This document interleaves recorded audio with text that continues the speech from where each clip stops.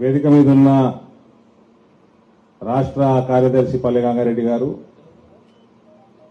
నూతనంగా భారతీయ జనతా పార్టీ కుటుంబంలోకి వచ్చిన ప్రముఖ వ్యాపారవేత్త తమ చారిటబుల్ ట్రస్ట్ ద్వారా అనేక మంది పేద ప్రజలకి వైద్య సహాయాలు ఇతర సహాయాలు అందిస్తున్న పైడి రాకేష్ రెడ్డి గారు పెద్దలు బోధన్ నియోజకవర్గ ప్రముఖ నాయకులు మోహన్ రెడ్డి గారు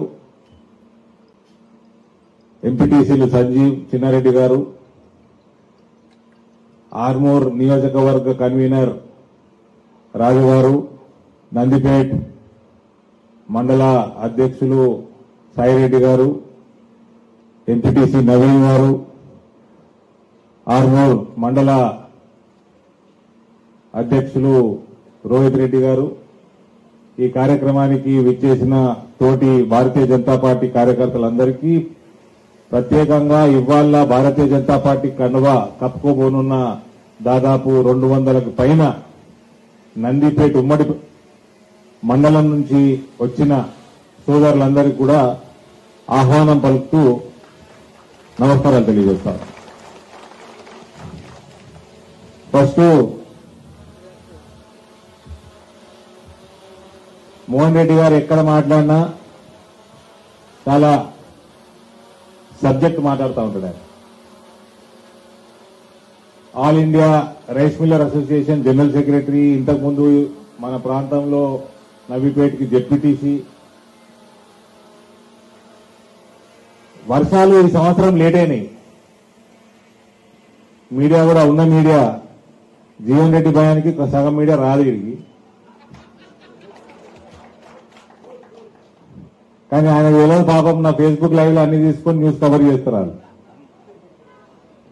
వాళ్ళింటికి వాళ్ళ రానవసరం లేదు. నేనే రికార్డ్ చేసి వాళ్ళ ఇంటికి పంపిస్తా. జీవన్ రెడ్డి ఫైనల్గా ఇవాళ రేపు నువ్వు కార్యకర్తలను బెదిరించినా మీడియా వాళ్ళని బెదిరించినా బీజేపీ నాయకులను బెదిరించినా ఓట్లు వేసేటోళ్ళు ఆర్మూర్ ప్రజలు. ప్రజలు ఎక్కడ భయపట్టిస్తారా నీతోటి ఉరుకులాడిస్తున్నాం. ఈ మధ్య ఉరుకులాట ఎక్కువైందట. నిద్ర తక్కువైందట ఉరుకులాట ఎక్కువైంది.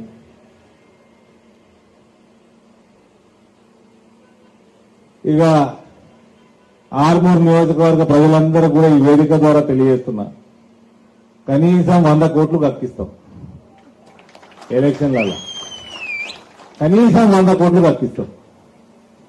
ఇవంతా మన గుట్టల సొమ్మే మన భూముల సొమ్మే. ధరణి సొమ్ము ఇసుక సొమ్ము మొరం సొమ్ము. హైదరాబాద్ లా రియల్ ఎస్టేట్లని ముంచి సంపాదించిన సొమ్ము. మన మనం ఏం కష్టపడి ఫ్యాక్టరీలు పెట్టకపోతే మీ అక్క లెక్క బ్యూటీ పార్లర్లు పెట్టకపోతే ఏం పెట్టలే కదా? ఏడికి సంపాదించినావు? గిఫ్ట్ సంపాదన. ఏమైనా ఉందా? ఏ బైషాప్ నువ్వు బిజినెస్ చేస్తున్నావు? ఆయన ఉన్నదా బిజినెస్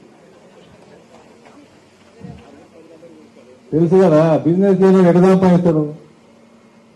అన్ని వంద కోట్లు కనీసం కక్కేయకపోతే మా పేరు కాదా.